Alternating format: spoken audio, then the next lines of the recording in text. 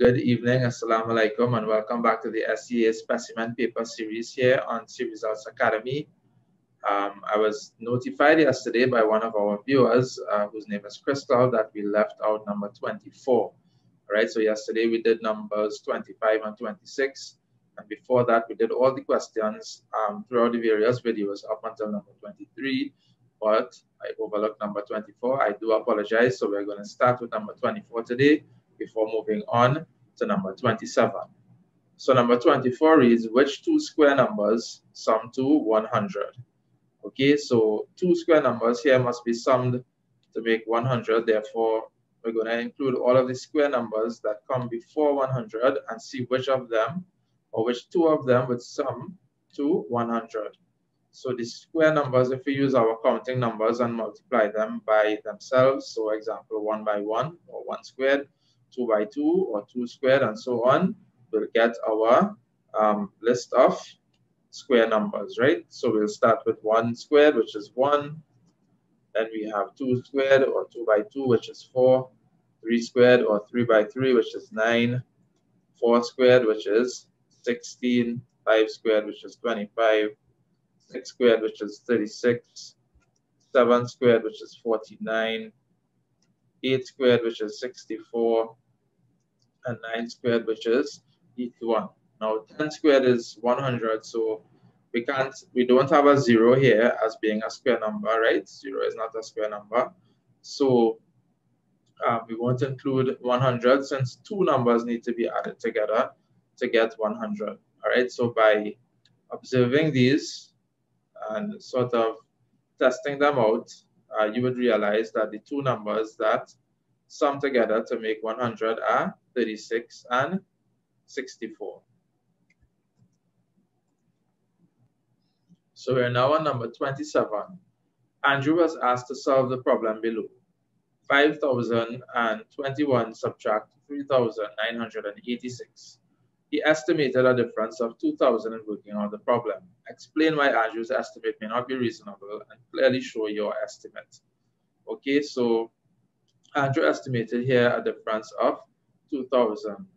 So it would appear that Andrew looked only at the digits occupying the thousands place and subtracted 3 from 5 and he got 2. So he estimated 2,000. But that is not reasonable and will demonstrate why. So 5,021, if we look at the hundreds here, the hundreds column, we see or we notice that it's a zero. Okay, so it's going to have no impact on the 5 in the thousands column. So therefore, 5,021 rounded to the nearest thousand is 5,000. And then we're going to round 3,986 to the nearest thousand. So if, we, if again we look at the hundreds column, we'll notice that there's a 9 occupying here. So 9 is 5 or greater, right? 9 is greater than 5. So therefore, what we'll have to do is to add 1 to the thousand. So the 3,000 will now become 4,000 and we replace the remaining digits with zeros. Okay, so if we were to now subtract these from each other, we would get 5,000, take away 4,000. So a better estimate would be 1,000. A better estimate for this difference would be 1,000. Okay, so in writing your explanation of why Andrew's estimate may not be reasonable, remember to include the fact that he only looked at the thousands digits, the digits occupying the thousands place when making his estimate.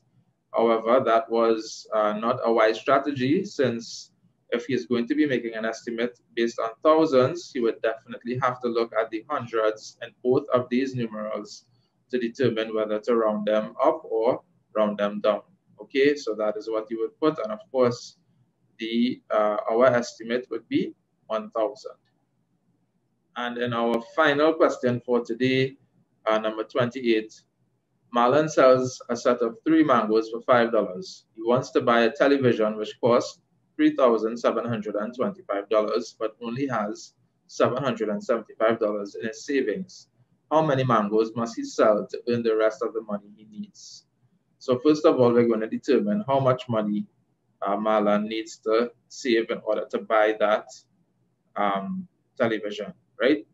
So he already has $775 and he has a goal of $3,725. So all we need to do, therefore, is to subtract uh, what he has from what he requires, right? He requires $3,725 and he has $775 in his savings. So if we subtract those from each other, we will get a difference of $2,950.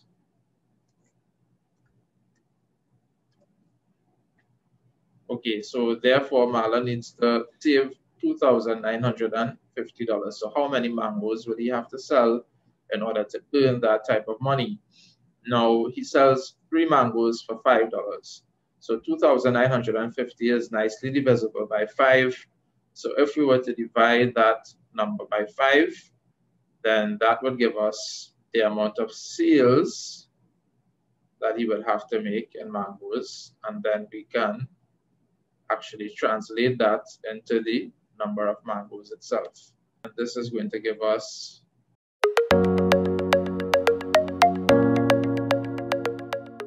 590 sets of mangoes, right? 590 sets of mangoes because he sells three mangoes in a set for $5. So now, if we, the question asks how many mangoes must he sell? So we have to break this down now into the number of mangoes. So therefore, 590 sets multiplied by 3 because there are three mangoes in a set and that is going to give us 1,770. So he has to sell 1,770 mangoes. Okay, guys, so that's it for today. Thank you for tuning in, and we do look forward to having you again tomorrow as we continue our journey into this SEA specimen paper and beyond.